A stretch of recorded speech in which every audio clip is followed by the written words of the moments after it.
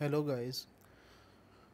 If you want to record your whatsapp video calls then today i want to tell you how can you record your video calls.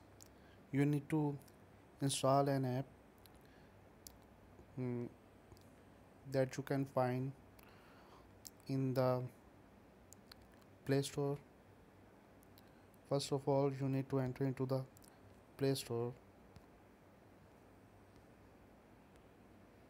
yeah. Here as you can see I already searched that app. So enter into the easy screen recorder. As I am already using that app so you need to install in your mobile phone and then you can go and you can play that app. As I'm already using that app to record my screen for the video.